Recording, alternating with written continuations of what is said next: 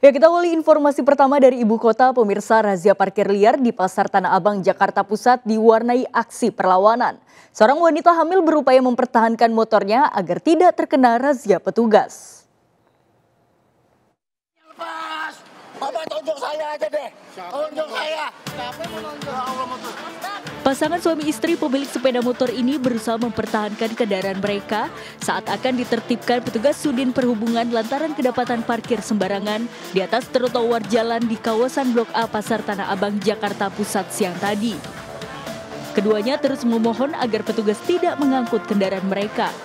Sang istri yang tengah hamil tua bahkan tak hentinya merengek hingga aksi saling tarik-menarik terjadi. Aksi perlawanan juga dilakukan seorang tukang ojek yang tertangkap basah tengah melintas di atas trotoar. Petugas yang geram langsung memaksa pengendara tersebut turun dari sepeda motornya hingga akhirnya kericuan nyaris kembali pecah. Razia parkir liar di kawasan Tanah Abang kembali dilakukan karena kondisi yang kian semeraut dengan maraknya parkir liar.